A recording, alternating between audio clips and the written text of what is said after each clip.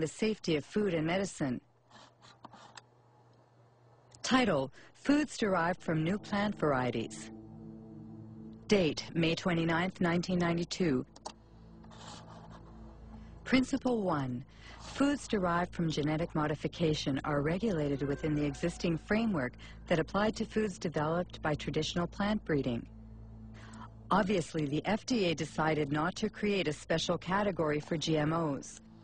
For further information, contact James Maryanski, who headed the biotechnology department at the time.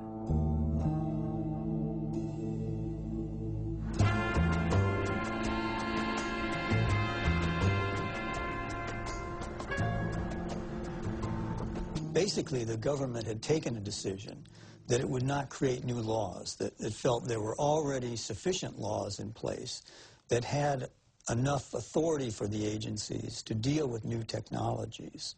That means the White House asks the agency to write a policy where GMO should not be submitted to a specific regulatory regime? But it's not based on scientific data. It's a political decision? Yes, it was a political decision. It was a very broad decision that didn't apply to just foods. It applied to all products of biotechnology. Unbelievable. James Maryanski admits that GMO regulation was based on politics rather than science. How exactly did they justify their decision? Principle 2. The components of food as a result of genetic modification of a plant will be the same as or substantially similar to substances commonly found in food. In other words, the FDA considers that a genetically modified plant is equivalent to its conventional counterpart. What they call the principle of substantial equivalence has been adopted around the world, and it's at the heart of the debate between biotech supporters and GMO foes. How could the FDA decide that a GMO crop is the same as a conventional plant?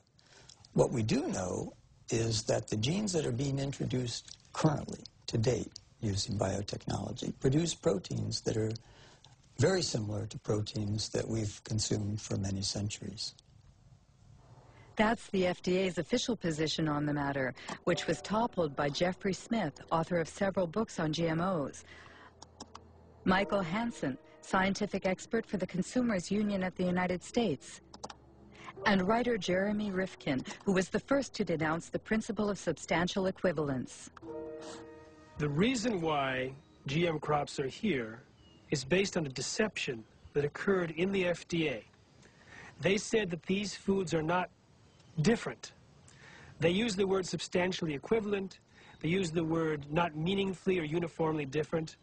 And what that turned into was a, a, terminology called generally recognized as safe, or GRAS.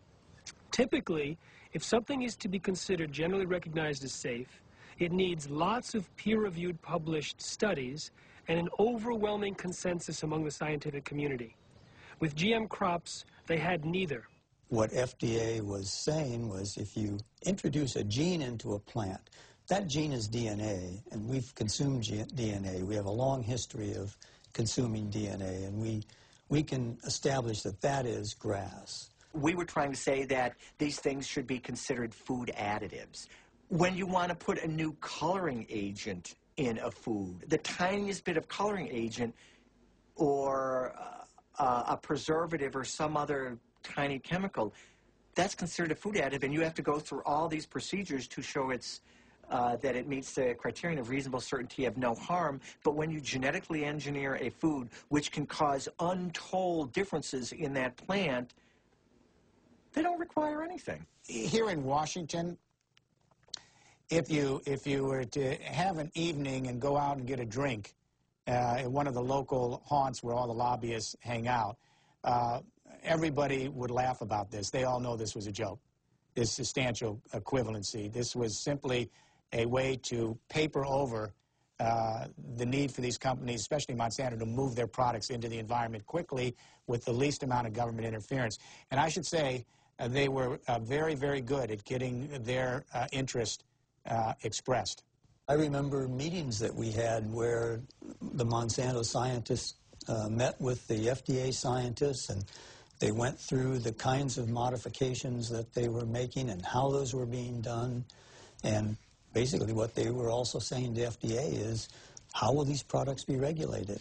I have never seen a situation where one company could have so much overwhelming influence at the highest levels of regulatory decision making as the example of Monsanto with its GM food policy in the government.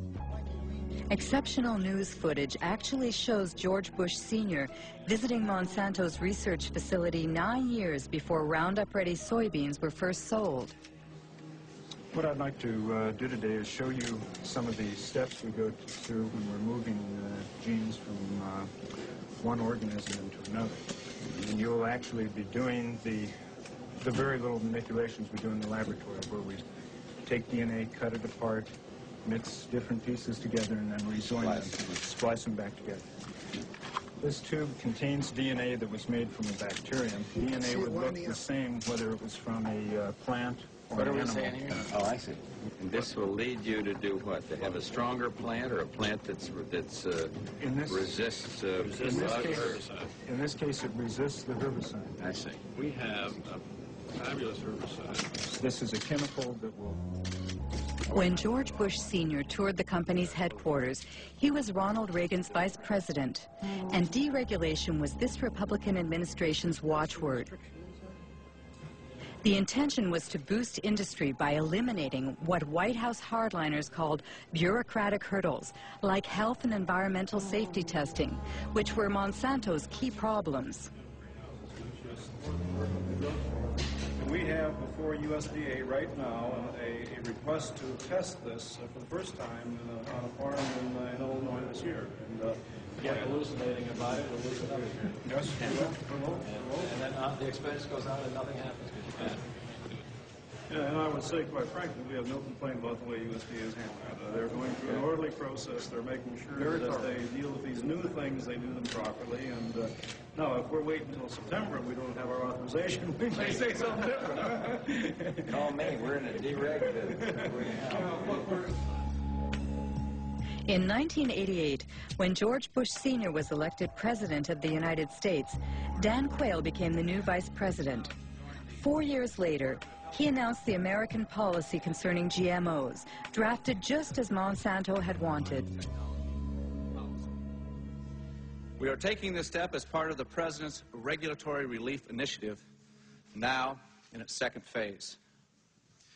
The United States is already the world leader in biotechnology, and we want to keep it that way. In 1991 alone, it was a $4 billion industry. It should reach at least $50 billion by the year 2000, as long as we resist the spread of unnecessary regulation. Do you think it, it was really a conspiracy? A conspiracy is a strong word. From a corporate standpoint, it was a brilliantly executed takeover. Early on, uh, a gentleman by the name of Michael Taylor became the deputy uh, administrator of the Food and Drug Administration right at the time that they were about to set out their policy. Who is Michael Taylor? On the internet, only a single image remains of the man who once wielded his power so discreetly. Today he heads a foundation called Resources for the Future.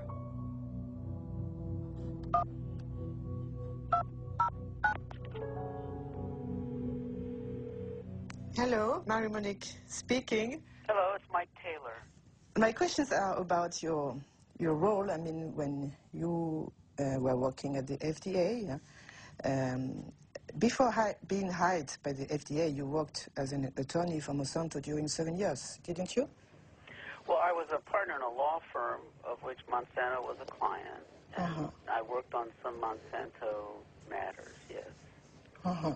And apparently, if I understood well what I read, and the FDA created a new position for you, Deputy Commissioner for Policy, Well, because it, there was a special need at that time uh, at the FDA because of the new GMOs. it, had, it had nothing to do with GMOs. Ah. Nothing at all to do with GMOs. I wasn't the author of these policies. But that's, that, that's very, that's just false. He moved over to the FDA in July of 1991. Up until that time, he was at a law firm called King and Spalding. His personal clients included not only Monsanto, but the International Food Biotechnology Council. And he had drafted for them a proposal for how they would like to see genetically engineered foods regulated. And if you look at the proposal that was written for IFBC, that was Michael Taylor's, with the final one that was published, it looks very, very similar. So eh, if he didn't write it, it looks like somebody took what he wrote and changed it slightly for the policy. Mr. Taylor was the um, uh, deputy commissioner at the time, and he provided the leadership um, for the project and served as the, the chief, uh, the sort of the lead uh, policy person in terms of uh, making sure that the project got done.